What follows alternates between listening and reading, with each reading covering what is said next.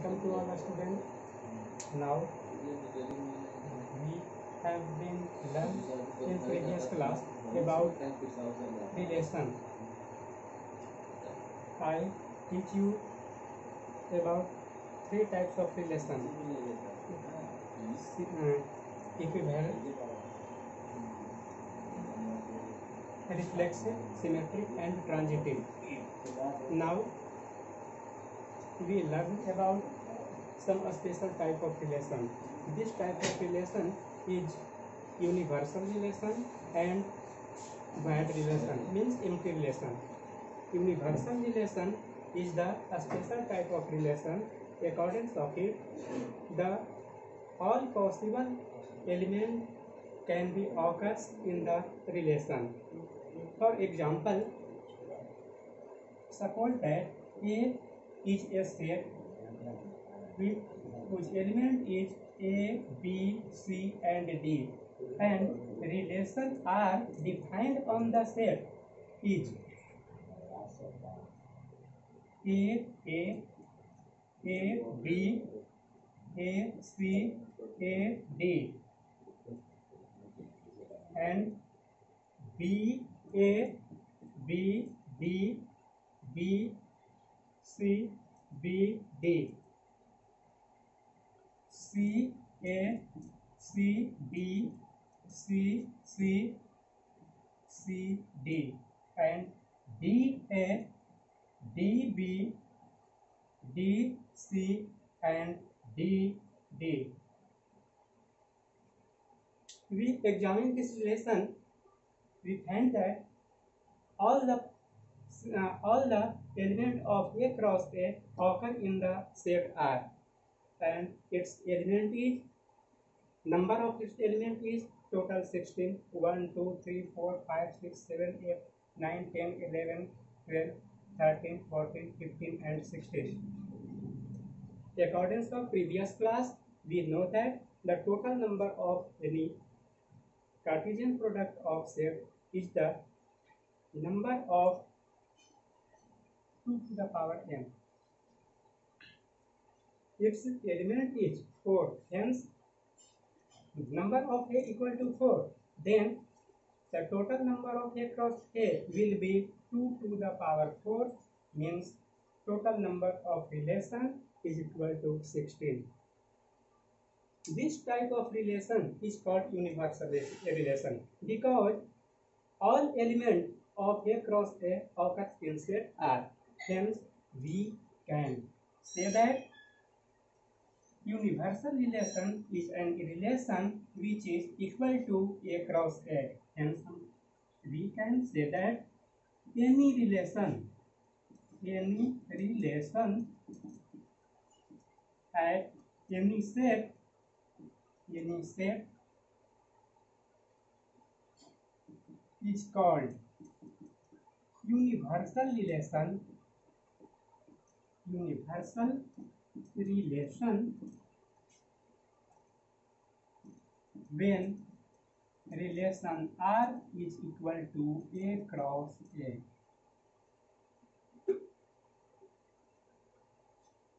now it is universal relation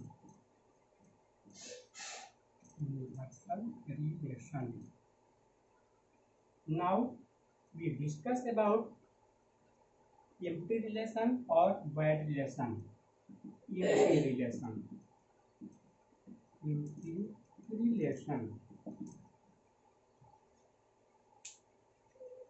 according to previous class means class 11 we know that if a empty set empty set is that type of set in which there is no any element in that set. Similarly, empty relation is that type of relation in which there is no any element in this relation. This relation is called by phi because any set which is empty set is denoted by phi and hence empty relation is also denoted by phi. The empty relation is that type of relation in which there is no any element means uh, no any element but we know that phi is the subset of any other set hence phi is the relation and phi is the subset of a cross a hence phi can be a relation at set A means R will be will be an empty relation.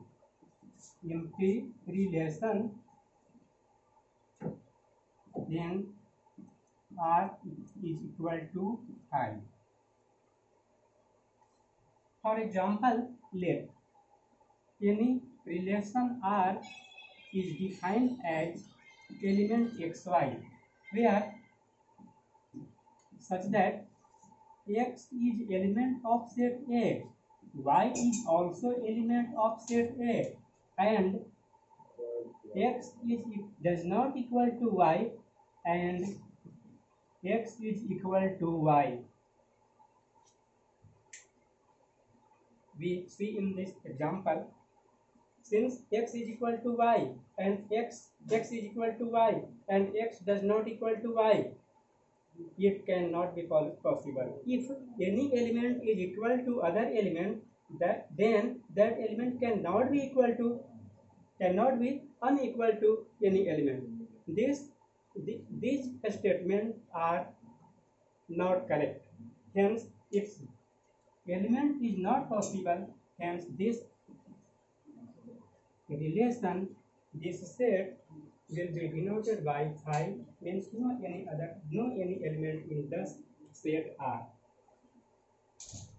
The universal relation and empty relation is said to be trivial trivial relation sometimes. Now we see about some example some problem at the relation. suppose that in the relation we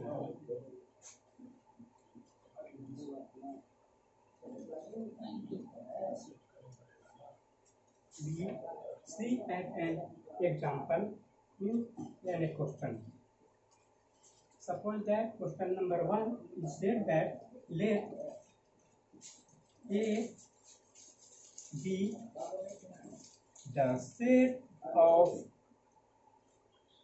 all triangles triangles in a plane and R is a relation in set A defined by defined by relation R is equal to triangle 1 triangle 2 such that triangle 1 is congruent to triangle 2 we have to examine that this relation is an, is an equivalence relation so that so that it is an equivalence relation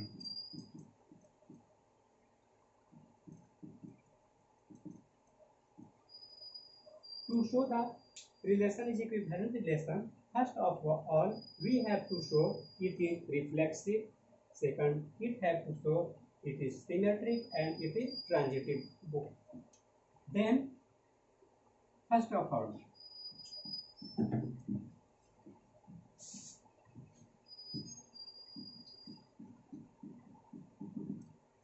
or reflexive for its for the, the definition of reflexive relation we have to show that all the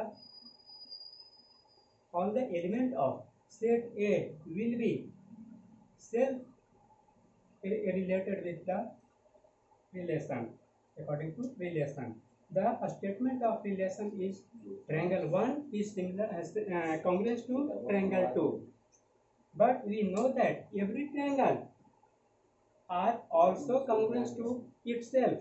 Then triangle 1, triangle 1 will be also congruent to triangle 2. Let triangle is element of set A. Any triangle is element of set A. We know that triangle is also is triangle and congruent to triangle. angle 1 becomes the first angle since triangle 1 is congruent to triangle 1 or all of triangle 1 is element of set A. So, means every element of set A means every triangle which is in set A it is congruent to itself. Hence, this relation is reflexive. therefore relation relation r is reflexive now we have to examine for symmetry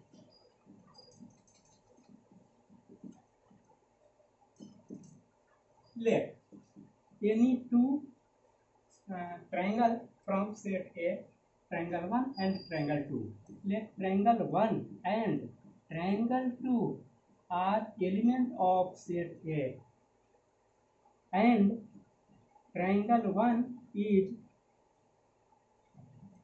triangle 1 is congruent to triangle 2 and we know that this implies triangle 2 will be also congruent to triangle 1 so therefore triangle 1 triangle 2 is element of relation and triangle 2 triangle 1 is also element of relation therefore relation is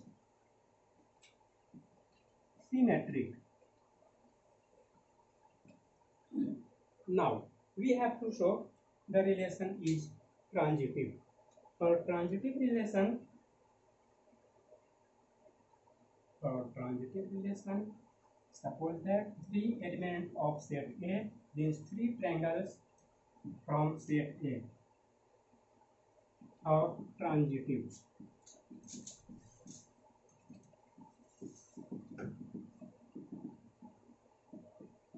Let triangle 1, triangle 2 and triangle 3 are elements of set A such that triangle 1 triangle 2 is element of relation R and triangle 2 triangle 3 is element of relation R this implies triangle 1 and triangle 2 is element of relation R hence triangle 1 is congruent to triangle 2 triangle 2 triangle 3 is element of relation R hence triangle 2 and triangle 3 are congruent to each other. Hence, triangle 1 is congruent to triangle 2 and triangle 2 is also congruent to triangle 3. Since triangle 1 is congruent to triangle 2, triangle 2 is congruent to triangle 3. This implies triangle 1 will be also congruent to triangle 3. Therefore, triangle 1, triangle 3 will be element of relation R. Hence, we observe, observe that the relation satisfy the all the three uh, conditions for reflexivity, transitive symmetricity, and transitivity. Hence, the relation is reflexive, symmetric, and transitive all. Therefore, relation is reflexive symmetric and transitive tells the given relation is equivalence relation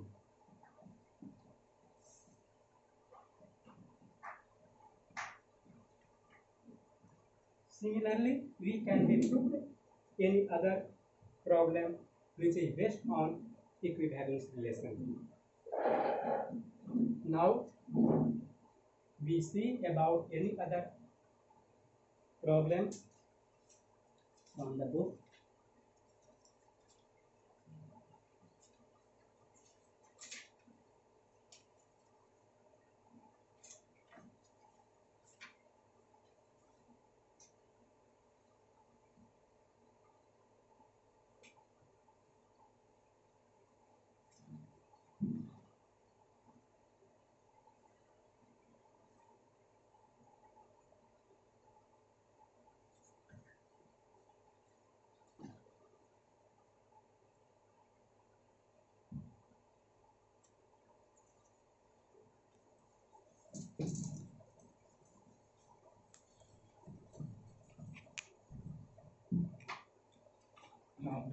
number 2 let n be the set of all natural numbers let n be the set of all natural number natural number n n r be a relation in n and r be the relation in n such that relation r will be defined by ab defined by ab such that a is multiple of b a is multiple of b show that R is reflexive and transitive but not symmetric. Show that, show that R is reflexive, transitive but not symmetric.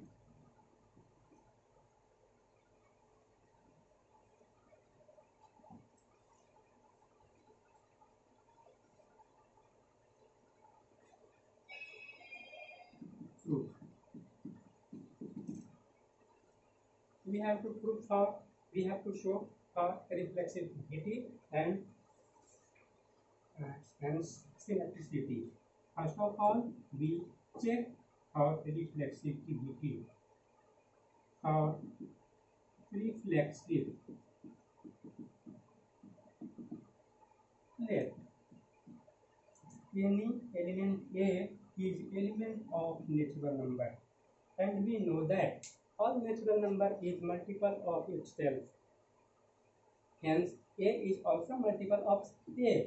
Hence, AA will be element of set R means AA will be element of relation R. Hence, it is reflexive. Since A is multiple of multiple of A. Similarly,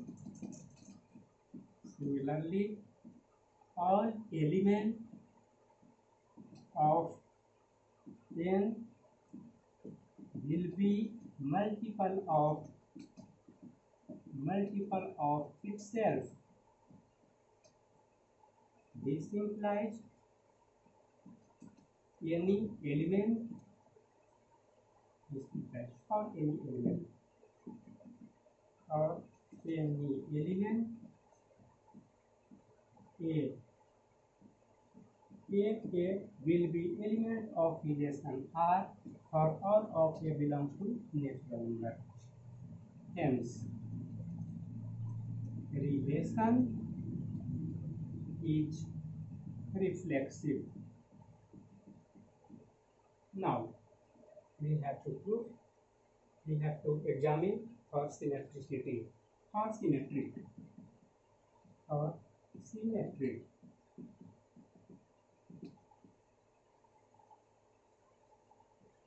Here, A and B are two elements of set n means A and B are two natural numbers. And we know that if A is element of sorry, A is multiple of B, then B cannot be multiple of A since and a is multiple of B, then B can not be multiple of a regularly. Hence, A B is element of set relation R and this implies BA does not element of relation R then relation will not be symmetric now we have to examine for transitivity transitivity for transitivity for transitivity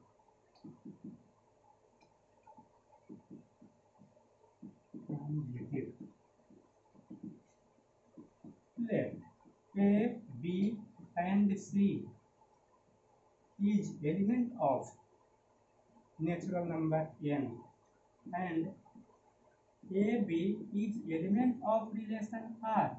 B, C is element of relation R. Therefore,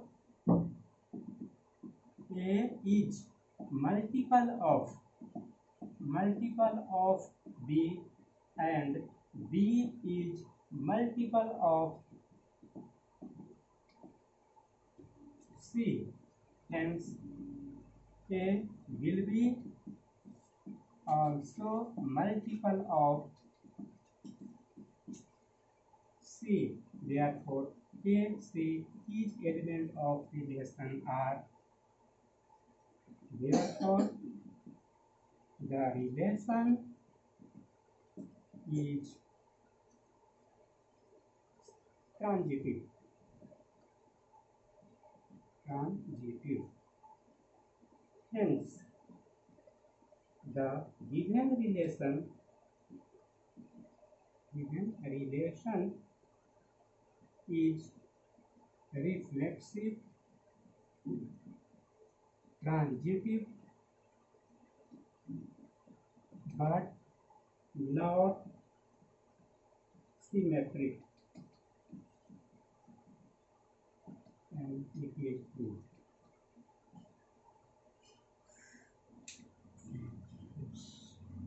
then